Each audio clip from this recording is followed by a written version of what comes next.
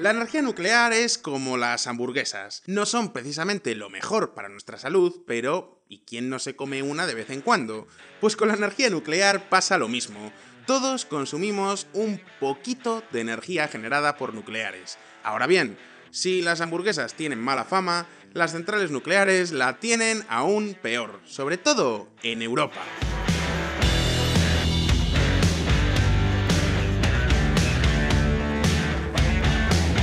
Ninguna fuente de energía es tan controvertida. En anteriores vídeos de VisualPolitik ya hemos visto cómo China y en general todos los países asiáticos están construyendo centrales nucleares como si no existiera mañana. Pues bien, en Europa pasa todo lo contrario. Francia sigue siendo la mayor potencia atómica del continente. De hecho, es el mayor país del mundo en lo que a dependencia de la energía nuclear se refiere pero en los últimos años todos esos reactores están dando más problemas que otra cosa.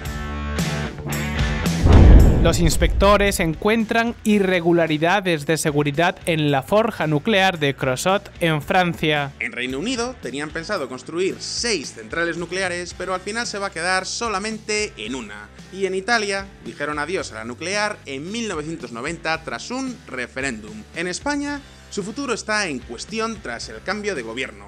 En este caso, España tiene 7 reactores nucleares. Pues bien, el gobierno socialista dice que quiere cerrarlos a medida que cumplan 40 años de funcionamiento. Esto supondría el apagón nuclear en España en menos de una década. Pero todo eso son paños calientes. Si hay un país antinuclear por antonomasia, ese es Alemania.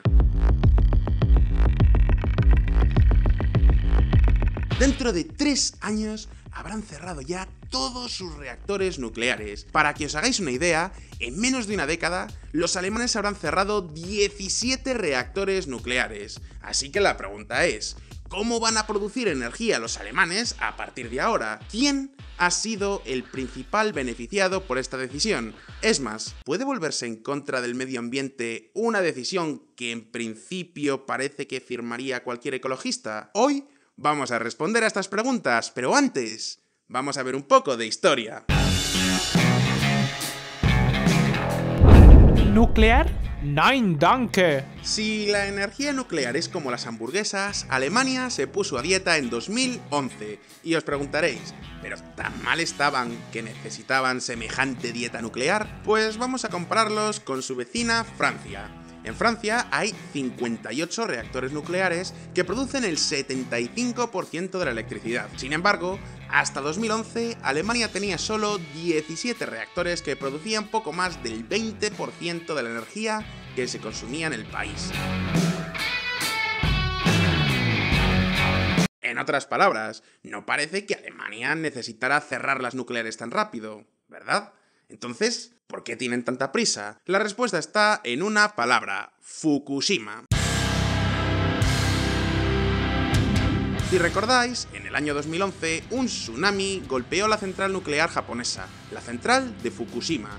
Así, es como se desencadenó uno de los peores accidentes nucleares de la historia. Pero ya sé lo que estaréis pensando algunos. En Alemania, pero si no tienen ni terremotos ni tsunamis, ¿dónde tienen el problema? Pues para responder a esta pregunta tenemos que ir un poquito más atrás en el tiempo. Los años 60 fueron la era de oro de las centrales nucleares. Por aquellos años, Alemania estaba dividida en dos países, el oeste, que era capitalista, y el este, que era comunista.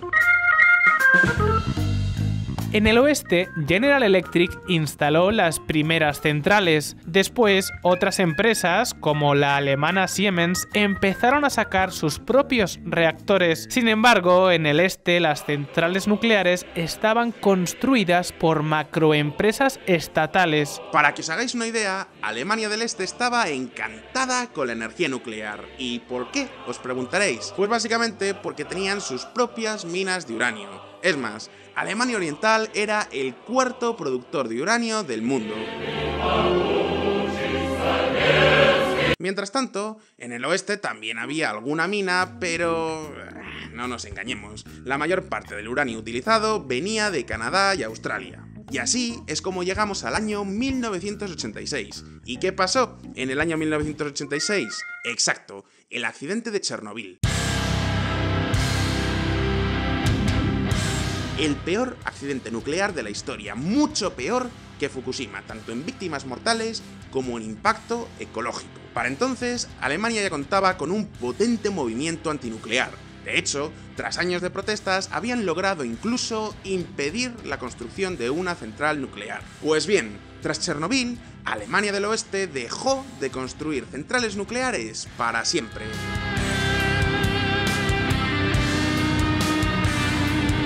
Es más, una de las condiciones que exigieron a Alemania del Este durante la reunificación fue que cerrasen todas sus centrales. Para que os hagáis una idea, por aquella época había una planta en construcción en una ciudad que se llamaba Stendhal. Pues bien, pararon las obras en seco y nunca se han vuelto a retomar. Básicamente, tras Chernobyl, nadie más confiaba en la seguridad nuclear de los soviéticos. Pero aquí no termina la cosa. Veréis, tanto movimiento antinuclear desembocó en un partido político, los Verdes. Y atentos, porque este partido es muy importante, tanto que durante los años 90 terminaron gobernando en coalición con los socialdemócratas.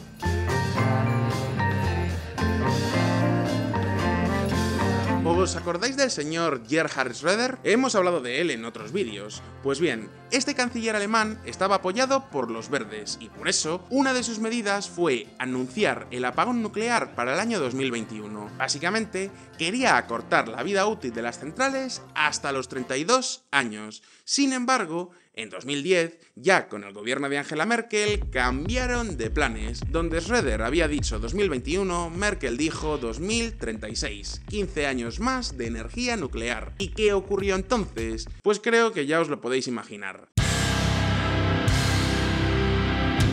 Exacto, el accidente de Fukushima.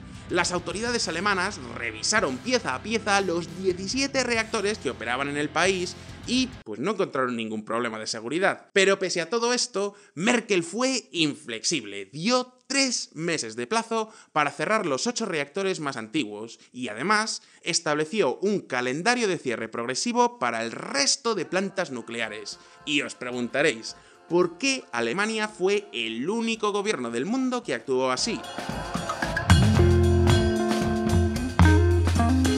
Pues creo que ya os podéis imaginar la respuesta miedo. Pero no a los tsunamis y a las fugas radiactivas, sino a las urnas. Por primera vez, en las elecciones de 2009, los dos grandes partidos alemanes no llegaban ni al 60% de los votos. A esto hay que añadirle que tras Fukushima, el movimiento antinuclear estaba on fire, y con ellos el partido de los verdes. Así que Merkel pensó que lo mejor que podía hacer era quitar el debate nuclear de la escena política y ser más tajante que nadie.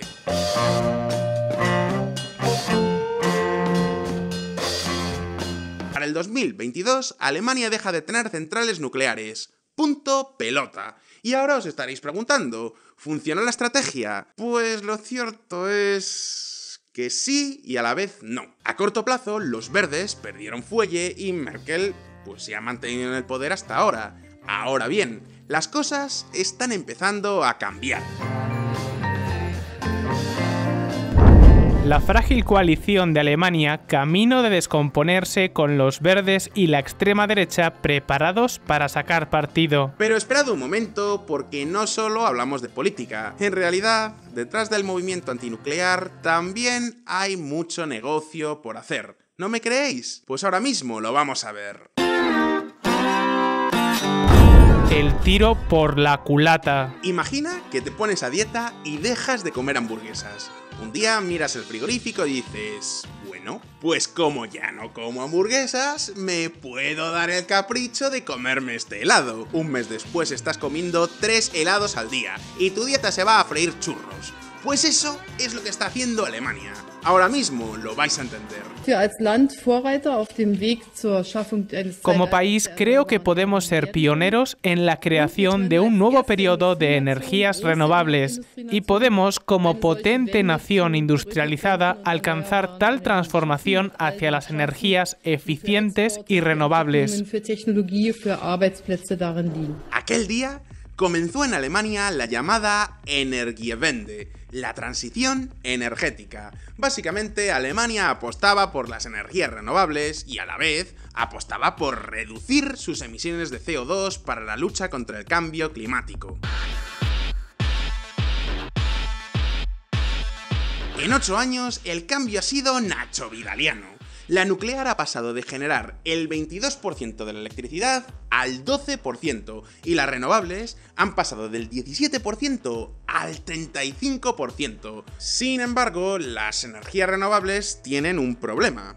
A día de hoy es muy caro almacenar energía a gran escala, y eso significa que las placas solares solo dan electricidad por el día, y algo parecido pasa con los parques eólicos. Sin embargo, los alemanes y todo el mundo necesitan electricidad a todas horas, así que ¿qué podemos hacer? Pues bien, una alternativa sería el gas natural, pero si lleváis mucho tiempo suscritos a VisualPolitik, ya sabéis que el gas natural tiene muchos problemas políticos. En este vídeo ya os contábamos cómo Alemania tiene una enorme dependencia del gas ruso, así que, ¿qué queréis? ¿Que dependan aún más de Rusia? Pues anda, que menuda solución. Así que, nada, tachamos el gas natural de la lista. ¿Qué otra alternativa nos queda? Pues básicamente la menos ecológica de todas. El lignito obtiene un indulto en la transición de Alemania hacia un futuro verde. Es un hecho. La industria del lignito alemán está siendo una de las grandes triunfadoras del Energiewende. El lignito es un tipo de carbón mineral. Resulta que Alemania es el mayor productor de lignito del mundo. De hecho, con esto de la Energiewende, Alemania ha podido garantizar la estabilidad de 20.000 trabajos y las empresas del sector están de enhorabuena.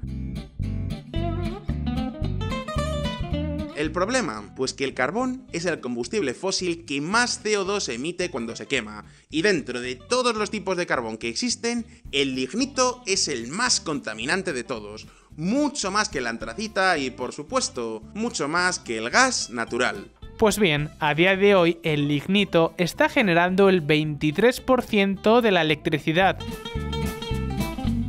Es más, en realidad es mucho más. Si sumamos el carbón que importa Alemania, al final tenemos unos números que llegan al 35%. En otras palabras, que si el objetivo de Alemania era contaminar más y generar más cambio climático, entonces, enhorabuena. Todo apunta a que ese lignito tan contaminante va a ser cada vez más y más y más importante. Y eso explica noticias como esta. Alemania no alcanzará los objetivos de 2020 en emisiones de gases de efecto invernadero. Fukushima y el Acuerdo de París contra el Cambio Climático son dos hechos que prácticamente han coincidido en el tiempo, y Alemania nos está enseñando que ningún país con crecimiento económico puede cerrar al mismo tiempo las centrales nucleares y a la vez las centrales térmicas de carbón. Es o una cosa o la otra. Y si pensabais que el drama energético alemán termina aquí, esperad, porque todavía no habéis visto nada. Como ya hemos dicho varias veces, la energía nuclear es cara de instalar, pero muy barata de producir. Renunciar a las centrales nucleares sube bastante la factura de la luz. Si a eso le sumamos que las energías renovables todavía no son precisamente baratas, tenemos noticias como esta.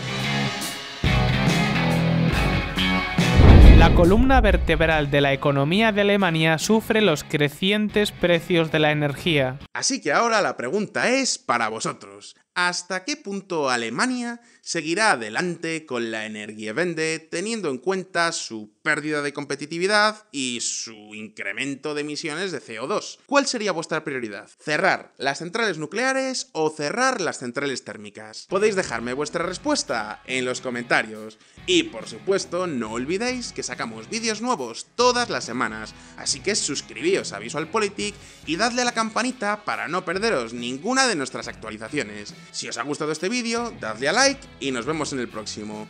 ¡Un abrazo!